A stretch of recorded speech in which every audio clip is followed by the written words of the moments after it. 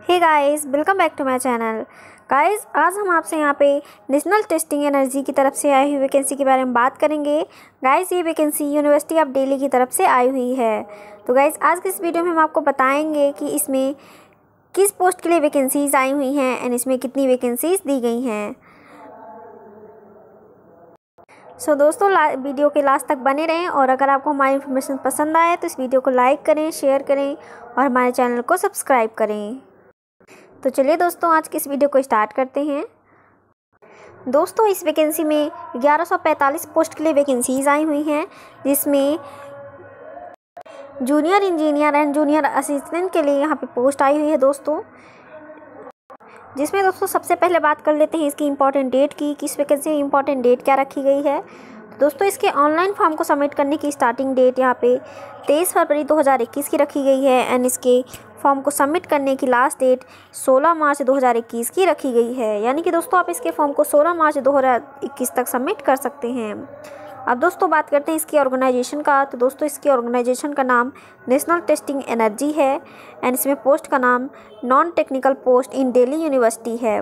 दोस्तों, इसमें टोटल ग्यारह पोस्ट आई हुई है एंड इसकी जॉब की लोकेशन दिल्ली में रखी जाएगी। एंड दोस्तों बात करें इसमें क्वालिफिकेशन एंड एजुकेशन की तो इसमें graduate and twelfth pass out candidate इस फॉर्म को सबमिट करने के लिए एलिजिबल हैं। सो so, दोस्तों अब बात करते हैं इसमें वैकेंसीज डिटेल की कि इसमें किस पोस्ट के लिए कितनी वैकेंसीज आई हुई हैं।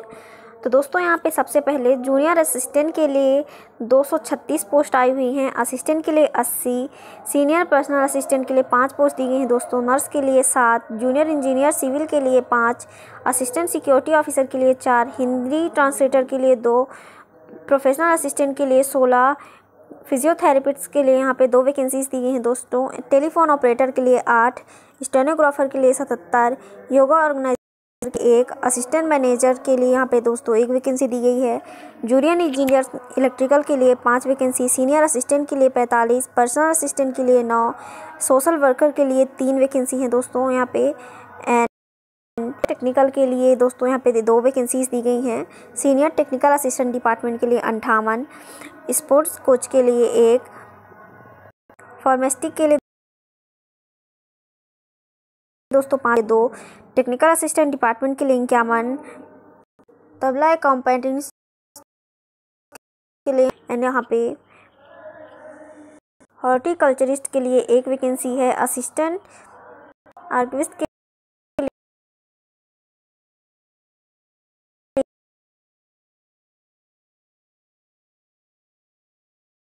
लिए एक सेनेटरी इंस्पेक्टर पखवाज प्लेयर के लिए एक वैकेंसी है वॉलियन के लिए दोस्तों दो वैकेंसी एंड हारमोनियम के लिए एक वैकेंसीज रखी गई हैं।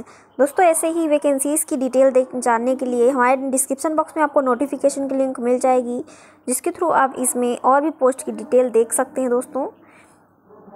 अब दोस्तों इसमें बात करते हैं क्वालिफिकेशन एंड एजुकेशन की। तो यहाँ पे सबसे पहले जूनियर असिस्टेंट के लिए दोस्तों यहाँ पे ट्वेल्थ पास आउट कैंडिडेट इस फॉर्म को सबमिट करने के लिए एलिजिबल हैं।